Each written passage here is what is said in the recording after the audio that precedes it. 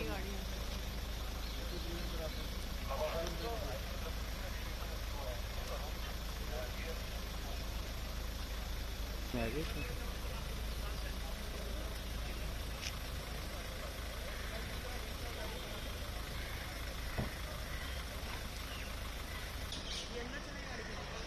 tyre फाड़ दिया